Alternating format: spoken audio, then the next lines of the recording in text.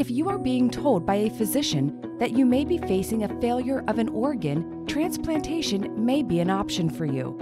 Undergoing an organ transplant can lengthen a person's life and allow those with a chronic illness to live longer, with an improved quality of life. Many people need an organ transplant due to genetic conditions, such as polycystic kidney disease, cystic fibrosis, or a heart defect. And many other conditions can contribute, such as damage due to chronic conditions like diabetes or infections like hepatitis.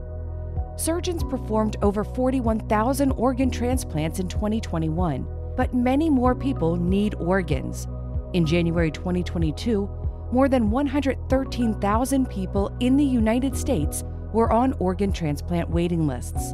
If you are looking at a specific transplant center that meets your needs, an assessment and referral from a specialist is helpful, but isn't necessarily needed. To be sure, check with the program you're interested in and your insurance company.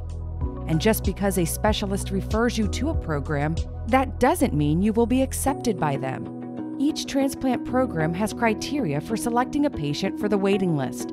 But where one program may not accept you, another might. You have options to explore. On the SRTR website, you can gather information you need to make decisions about your care, such as how long patients wait for a transplant, what happens after transplant, and more. We hope this video has given you an idea if transplant may be right for you. If you want to learn more, you can go to srtr.org, transplantliving.org, or optn.transplant.hrsa.gov. Connect with us on Twitter and LinkedIn and subscribe to our YouTube channel to find more informational videos on donation and transplantation like this one.